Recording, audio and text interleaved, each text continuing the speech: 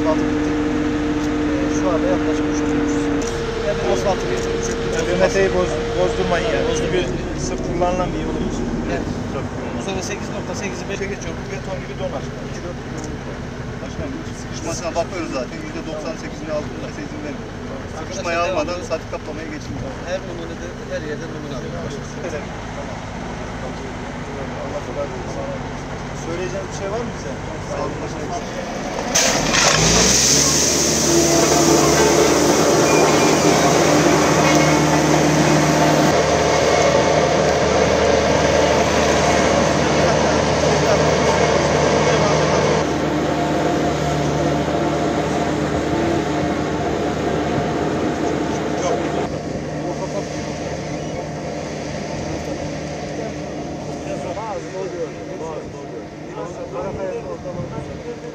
Bunlar eser ya işte. Bunlar kalıcı eserler. Yani En iyi eserler belki 20, yaptınız 30 yıl, 40 yıl bunun, üzerinden geçilecek. Bu eserler Ben çok dolaşım sizin hakkınızda ve en ufak bir şey önemli olan önemli olan halkın gönlüne girmek. Halkın gönlündesiniz. Halkın gönlüne girmek, hizmet üretmek. Yani Halkın gönlündesiniz. Gerek merkezde gerekse merkeze uzak kırsal mahallelerimizdeki yol, yol standartlarını yeniliyoruz. Yol standartlarını e, yükseltiyoruz.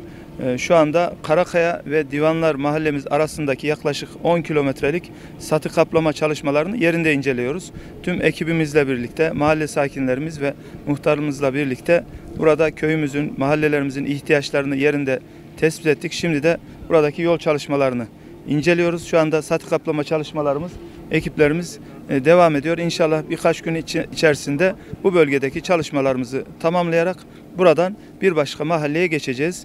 E, Şöyle söyleyeyim, Karatay'da e, tüm yol standartları iyileşinceye kadar çalışmalarımıza devam edeceğiz.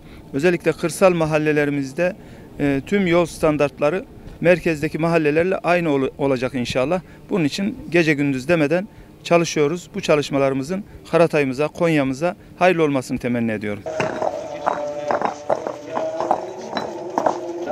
burası ne?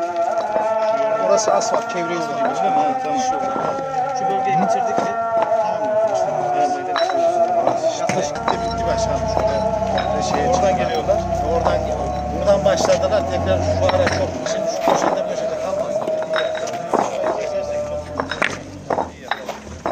Yakışanı yapacağız. Benim arkadaşlarım karşıma yakışanı.